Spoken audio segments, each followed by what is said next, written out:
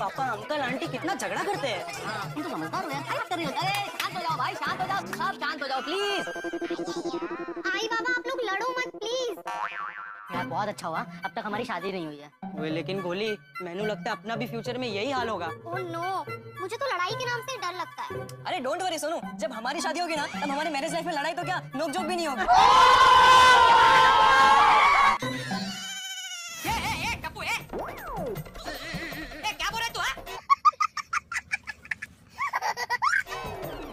जेठालाल सुनो तुमने क्या बोला उसने? अरे कुछ संस्कार नाम की चीज़ है कि नहीं? नहीं। A few moments later. अरे बिड़ंगल अंकल मतलब जब मेरी और सोनू की शादी होगी तब हम बिल्कुल भी झगड़ा नहीं करेंगे। ए, उठा ले रे देवा उठा ले रे बाबा। मुझे अमीर को नहीं रे ये दो गरीबों को उठा ले।